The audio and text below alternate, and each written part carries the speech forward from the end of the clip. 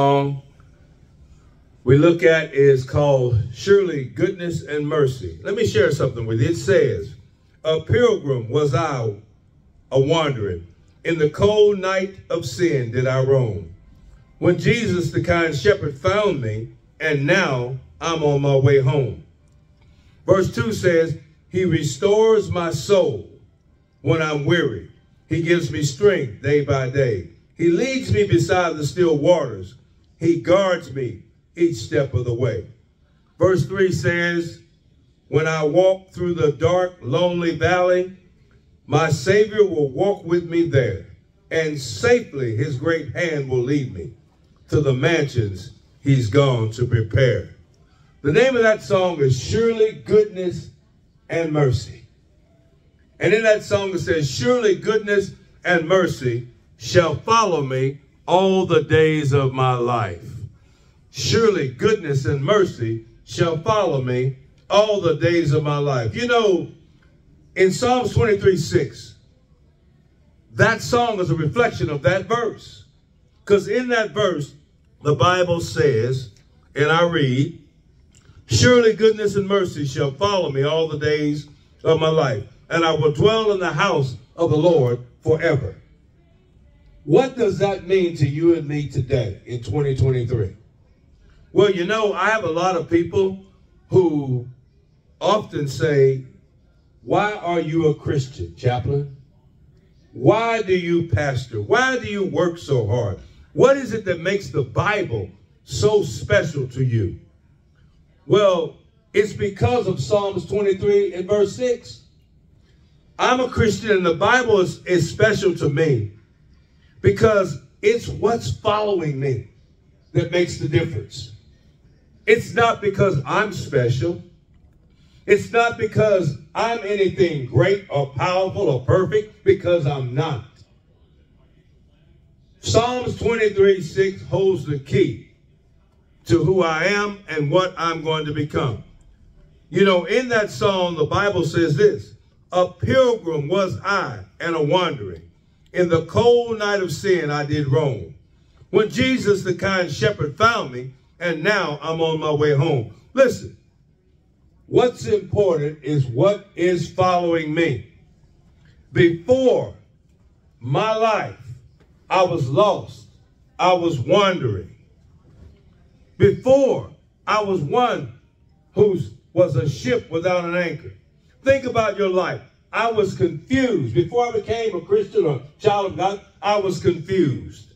I did not know which way was up or which way was down. And the world kicked me. The world tossed me. The world beat me up. The world bullied me. And I was living and am living in a world that's, that's just full of a lot of sin and evil. Amen? Amen? The fact of the matter is we cannot escape where we are and what we are surrounded by. But before I was lost and I was wandering, in the cold night of sin, there I walked on this road, this dark, lonely, cold road that was only taking me to one place. That place was hell. Whether I knew it or whether I didn't know it, I was on the highway to hell. Amen. I was there. And the good thing about it is on this road, there was a small, tiny voice. Like the song says, Jesus, the kind shepherd, found me. There I am, sitting, thirsty, hungry, cold, lonely, on that road, walking through my life with very little help or direction. And here comes Jesus. Jesus reminded me of the road that I was on. He reminded me of the destruction. He reminded me of the loneliness. He reminded me of my lost state. Romans 6.23 says that the wages of sin is death. That's a payday that those who don't know God will endure. But Jesus said, I can save you. I can rescue you. I can help you.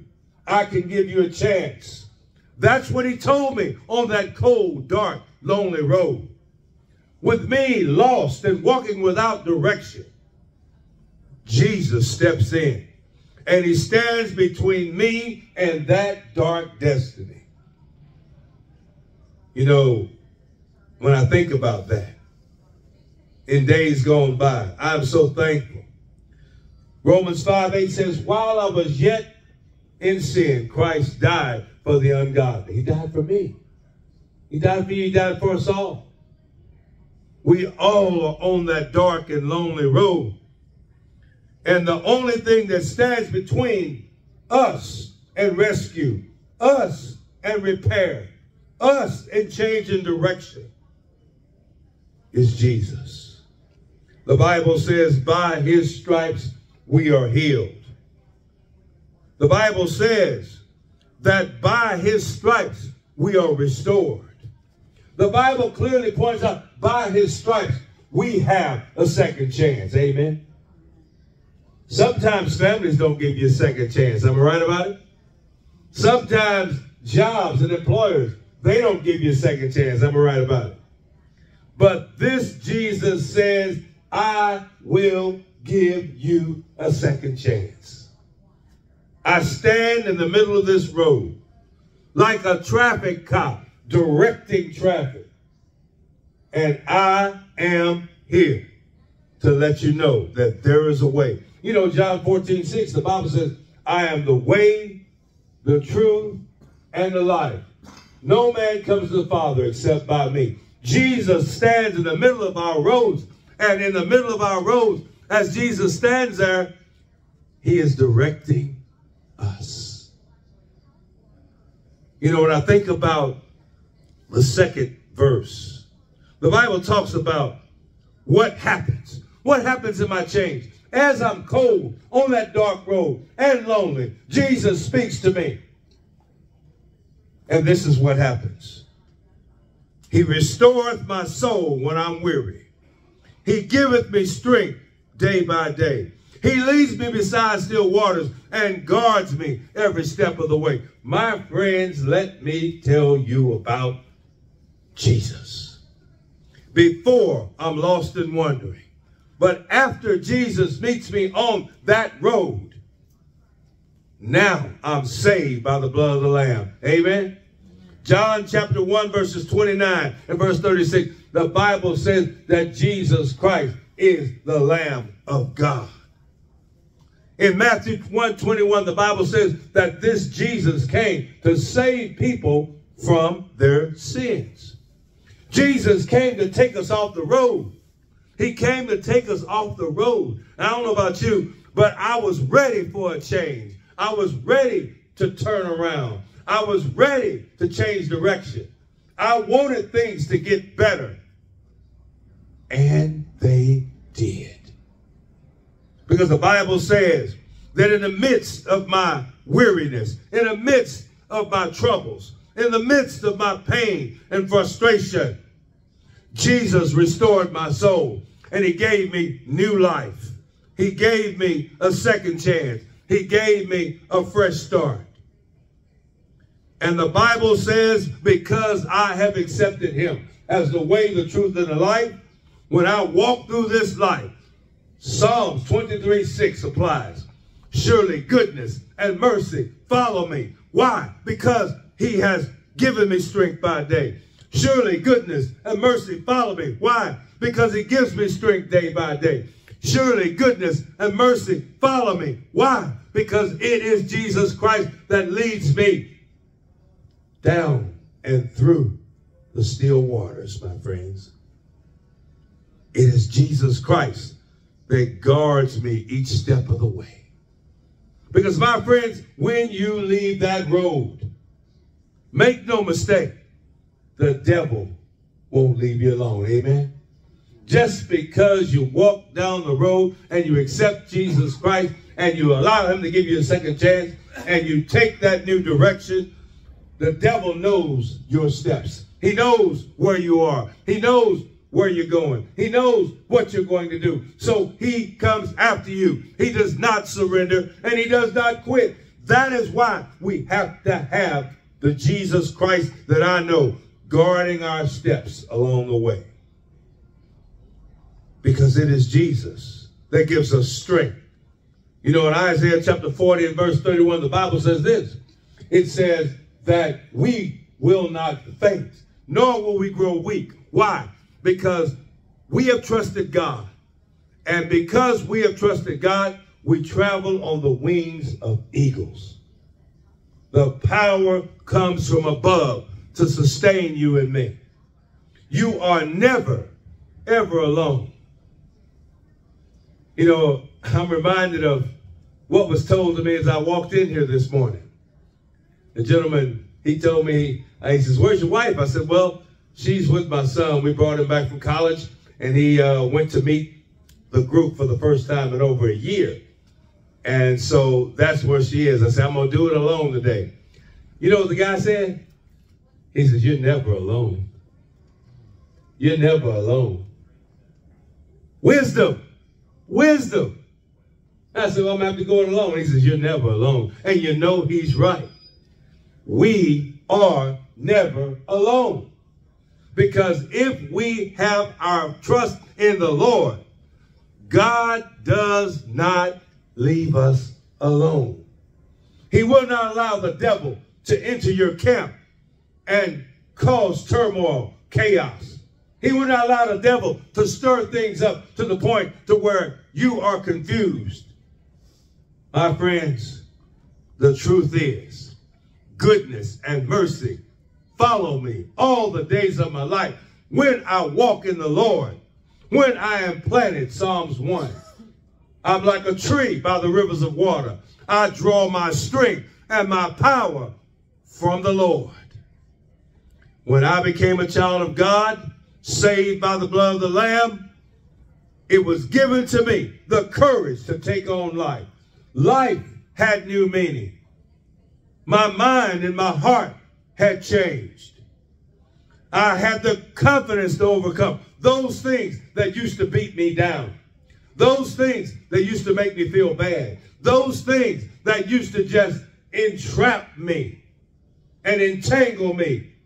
No longer did I have to worry about that, brothers and sisters, because I recognize that when I accepted Jesus Christ, surely goodness and mercy shall follow me all the days of my life. And I'll find strength. I'll find peace. I'll be guarded against the evil one. You know, when I grew up, when I played basketball, you're running up and down the court playing basketball. You're setting up the plays and you're shooting those, uh, back in the day, it was two pointers. Eh? The three point didn't exist back then. But, you know, what I used to like to hear running up and down that basketball court I used to hear the cheerleaders, you got to fight to win. And they clap. You got to fight to win. They clap, clap, clap, clap. You got to fight to win. And I'm going to tell you, if you were behind two points, or if you were behind five points, that just kind of got you worked up. You said, you got to fight to win. Next thing you know, there's a two-pointer. Next thing you know, there's a stolen ball. Next thing you know, there's a block shot. Next thing you know, there's a layup. Next thing you know, you're in the lead. What started that process was the cheers from the cheerleaders saying, you got to fight to win. And my friends, when you trust Jesus Christ and Jesus Christ injects his love and Jesus Christ injects his power and the Holy Spirit in your life, my friends, the next step is you have the fight to win. We know the devil is coming back. We know the devil is coming after us. We know that he's going to send people into our lives to cause us to try to fall and fail and quit and give up and make fun of us and ridicule us and talk about Jesus Christ. We know all of that's coming. But you got to fight to win. You got to fight to win. You got to have the confidence to overcome. And we can win that fight. You know, when I accepted Christ, Galatians 2.21 meant a whole lot to me. Still means. Galatians 2.21 says simply, I am crucified with Christ. Nevertheless, I live. Yet not I, but Christ that lives in me. And the faith I live, I live now by faith in the Son of God who loved me and gave himself for me. You know, that's enough for me right there. I can fight to win, knowing Galatians 2.21, that I'm crucified with Christ. Christ died for my sins. I am a new creature. And as a new creature, I live each day realizing where my faith comes from. And I build on that. And there's nothing that can take that away. The old man has no more power over me because mercy and goodness follow me all the days of my life. The old me, the old friends, the old ways, they are gone because I recognize Galatians 2.21 and the power of God in it. What follows me, my friends, is the goodness and mercy of God. When I think about living today, what does that mean? It simply means that each day that the sun comes up, I have one priority. And that priority is Matthew 6 to 33. Each day I get up, I say, I will seek first the kingdom of God and his righteousness, and all other things shall be added unto me. I will seek God first, and surely goodness and mercy shall follow me all the days of my life.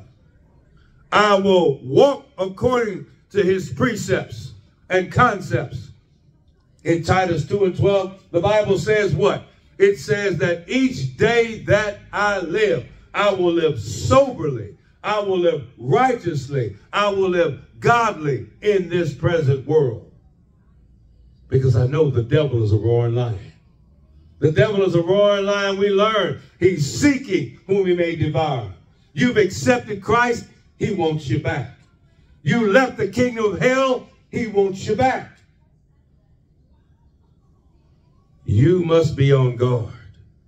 And the only way to ensure that is to put him first and allow the goodness and mercy to follow you. And the second thing is this, anticipation. I love that old ketchup commercial. It was a Heinz ketchup commercial. It was on TV. It was the longest 30 second commercial I've ever seen in my life. Where they sit there and they take the ketchup bottle and they turn it. And the ketchup doesn't just run out of the bottle, does it? It just slow 30 seconds of just watching the little red dot appear and then seeing the ketchup just slowly ease and ooze out of the bottle right onto the burger. And then the statement, anticipation. Anticipation. Anticipation is making you wait. Making you wait. You know, when I think about Psalms 23, 6 and what follows me in this life, God's goodness and God's mercy. It is that very thing that motivates me with anticipation. Am I there yet? No. Have I made it? No. I'm not in heaven yet. But it's the anticipation. It's the waiting. That's the best part. Because you know when that ketchup hits that burger and you bite into it, it's going to taste good because it has a ketchup on it. Well, my friends, think about. Think about what's going to happen. You're anticipating as you've accepted Christ. You've trusted him. You're walking in his goodness and his mercy. And some great day, you're going to wake up in glory. And he's going to say, well done, thy good and faithful servant. My friends, it is the anticipation of that great moment. Just like the bite into that cheeseburger. It tastes so good. Well, that great day when the Lord says, well done, it's going to feel good. And the anticipation leading up to it is beautiful because you're saying, wait for it, wait for it, wait for it. And when it happens, you're going to go, oh, glory, thank you, Jesus. Thank God I waited for this great moment. Thank God I didn't quit. Thank God I didn't get the miracle whip. Thank God I didn't turn around. I know I'm hungry, and it may be hard waiting on that ketchup to drop onto that hamburger. But my friends, it is worth it.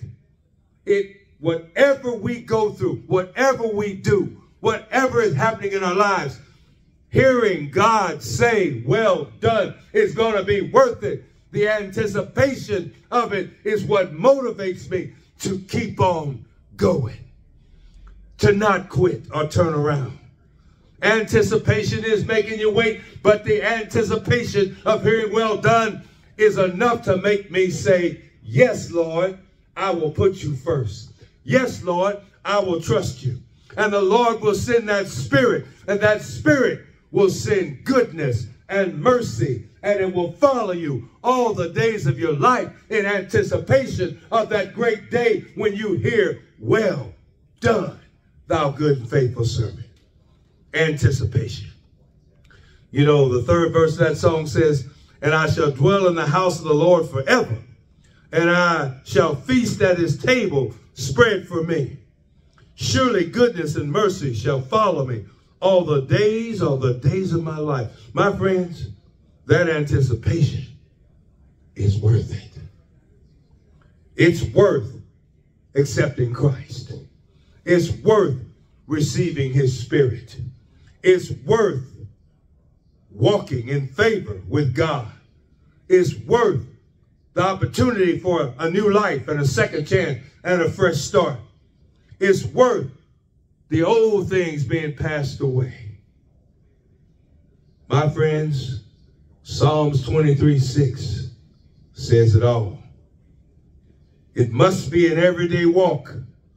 And we must wake up with that outlook that as I walk with Christ, crucified with Christ, committed to Christ, as I walk with Jesus, with the anticipation of what is about to happen, the last day, the great day, the judgment day, the well done day. I myself know what's following me. And I hear the angels and I hear Jesus like those cheerleaders. Those cheerleaders who encouraged us in the fight. You've got to fight to win.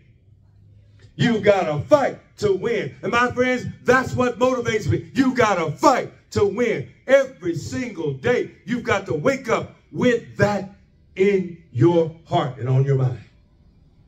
You've got to fight to win. And the angels of the Lord and Jesus himself, they are there encouraging you. They are cheering you. And he has sent the Spirit of God. Surely goodness and mercy is following the child of God who says and is committed to fight to win, who is committed to be confident to overcome, who is committed to have courage to take on whatever this life throws at you. Surely goodness and mercy shall follow me all the days of my life. My friend, Psalms 23 is such a beautiful song. Verse 6 is often overlooked. But I want to offer you that verse as a key to your everyday life and living. Because it is the difference between staying on the road or going in a different direction. And I hope, trust, and pray that it's our desire today to stay on the road and fight the good fight because you got to fight to win. You got to have the confidence that God is with you. We can do all things through Christ who strengthens us. Romans 8:31. There's no reason for us to quit, fail, or walk away. You have the victory right in your hand. You know, I'm reminded of football, the analogy when some teams have the lead going into the final minute. And somehow, some way, the other team marches down the field and kicks a field goal and wins the game. And many announcers will say they played a great game, but, but, defeat was snatched. Or victory was snatched out of the jaws of defeat, or something like go something like that. Basically, they lost the game because they didn't follow up. Defeat from the jaws of victory. We don't want that to be said of us. Defeat from the jaws of victory. You are on a winning team. You have the winning recipe and ingredients. Let's run the race and finish the race, knowing that goodness and mercy follows us everywhere we go, all the days of our life. In Jesus' name, let us pray.